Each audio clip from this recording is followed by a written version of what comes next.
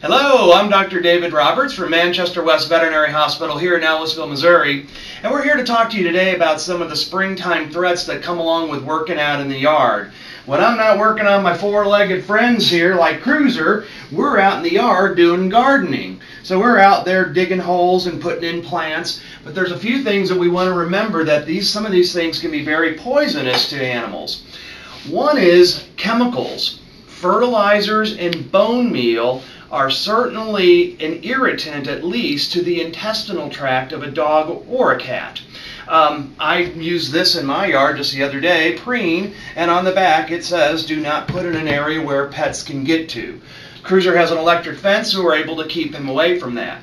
There's actually more serious types of poisons out there, and that is your snail and mole baits. Some of the mole baits are still strychnine um, originated, so we want to be really careful with those. Those cause seizures and death in these pets, again, whether it's a dog or a cat. Another snail bait is called Antu. It's A-N-T-U, Antu. And that causes serious problems and death if a pet eats enough of it. But the other thing that surprises us is that some of these plants are actually toxic.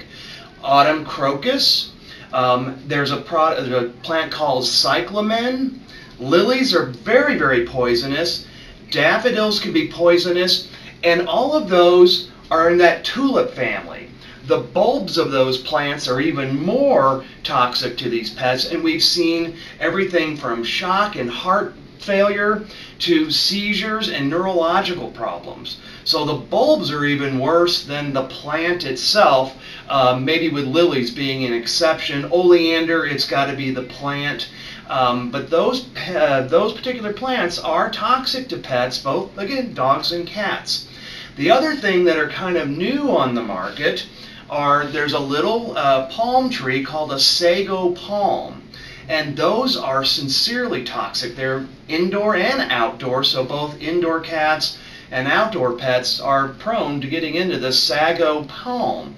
The other thing that surprised us is they're making mulch from cocoa plants, from the cocoa beans. When they manufacture chocolate, they have the leftover bean.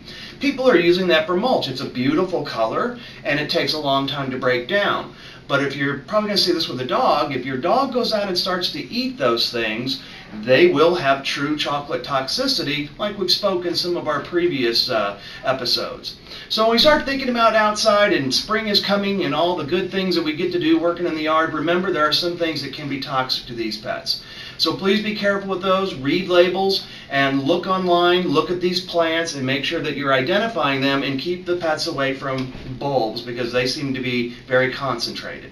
Again, I'm Dr. David Roberts from Manchester West Veterinary Hospital. Thank you very much.